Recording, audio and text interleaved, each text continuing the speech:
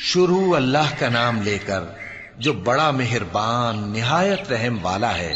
جب سورج لپیٹ لیا جائے گا اور جب تارے بے نور ہو جائیں گے اور جب پہاڑ چلائے جائیں گے اور جب بیاہنے والی اونٹنیاں یوں ہی چھوڑ دی جائیں گی اور جب وحشی جانور جمع کیے جائیں گے اور جب سمندر آگ ہو جائیں گے اور جب روحیں جسموں سے ملا دی جائیں گی اور جب اس بچی سے جو زندہ دفنا دی گئی ہو پوچھا جائے گا کہ وہ کس گناہ کے سبب قتل کر دی گئی اور جب امال کے دفتر کھولے جائیں گے اور جب آسمان کی کھال کھینچ لی جائے گی اور جب دو کی آگ بھڑکائی جائے گی اور جب بہست قریب لائی جائے گی، تب ہر شخص معلوم کر لے گا کہ وہ کیا لے کر آیا ہے۔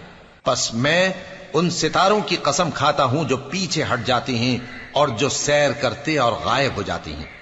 اور رات کی قسم جب وہ پھیلنے لگتی ہے۔ اور صبح کی قسم جب وہ نمودار ہوتی ہے کہ بے شک یہ قرآن اس فرشتہ عالی مقام کا سنایا ہوا پیغام ہے جو صاحب قوت ہے، مالک عرش کے ہاں اونچے درجے والا ہے، سردار ہے، ساتھ ہی امانت دار ہے۔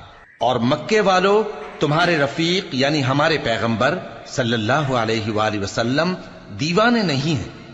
اور بے شک انہوں نے اس فرشتے کو آسمان کے کھلے کنارے پر دیکھا ہے۔ اور وہ غیب کی باتوں کے ظاہر کرنے میں بخیل نہیں۔ اور یہ کسی شیطان مردود کا کلام نہیں ہے۔ پھر تم لوگ کدھر جا رہے ہو؟